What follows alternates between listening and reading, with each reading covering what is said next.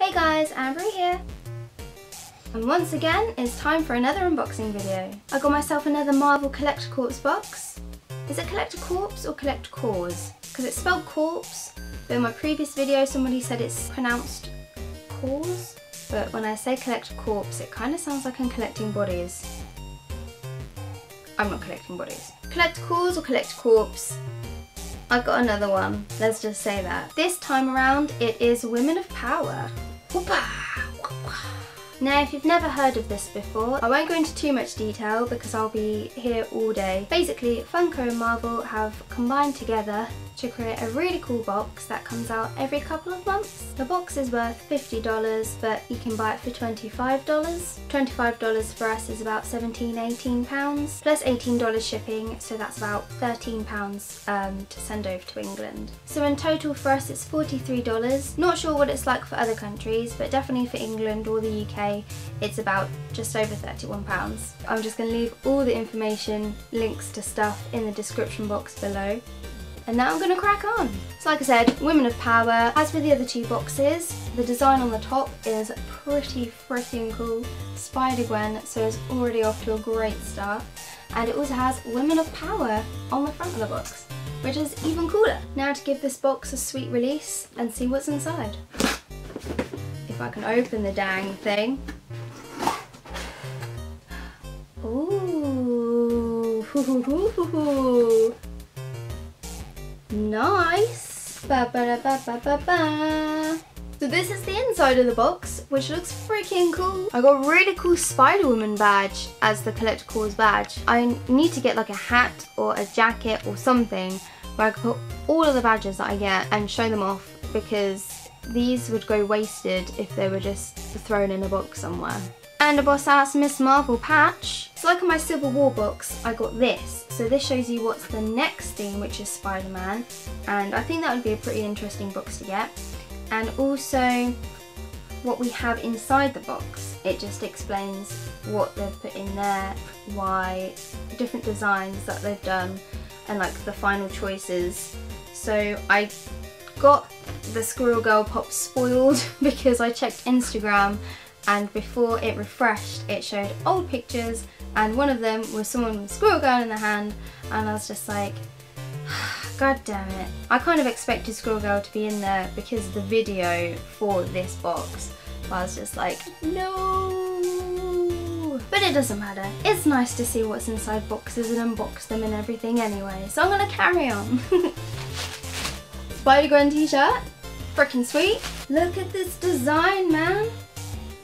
Ah, cool. This is, oh man. It's nice that it's a light grey as well. It's usually really dark clothes like Deadpool, the black t-shirt.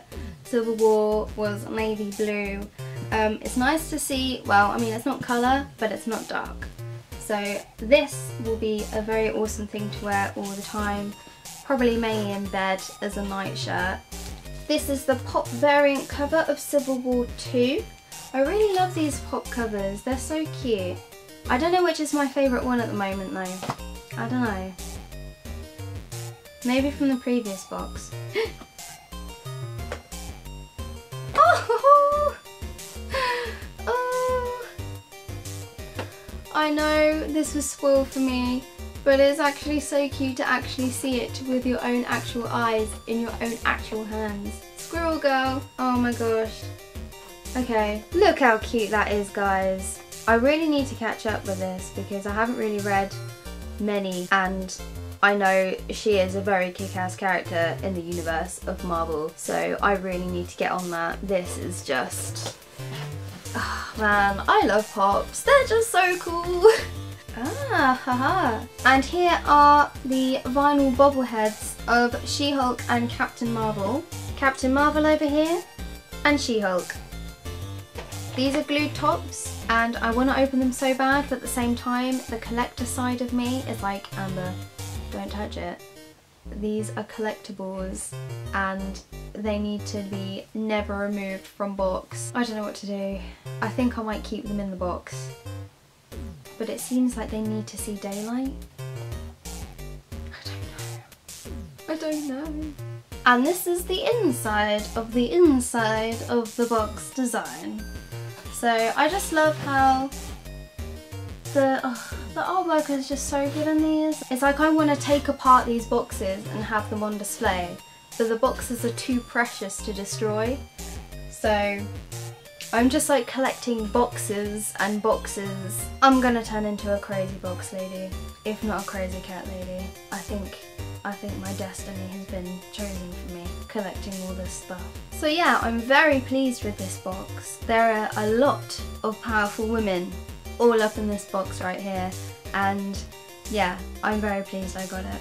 Now it's just a case of trying to find space to put everything because I definitely not on here. I'm not going to find any space on here. I'm just going to have to kind of assemble shelves or something and just plaster everything everywhere. I hope you enjoyed my video guys of this lovely unboxing. If you want to check out the previous unboxing that I've done which was Civil War then totally check it out. I'll post links and do something fancy over here maybe um, for you to go over and click onto it. If you like this video give it a like Comment, did you get this box? What do you think of the stuff that you got? Have you had previous boxes before or are you going to get the Spider-Man box? And check out the rest of my videos and maybe give me a subscribe. Two of my girls over at FGG, Fake Geek Girls, also got this box so you should definitely check out their video and see what their reactions are like too. And hopefully I'll be back with another video soon. See you around, bye!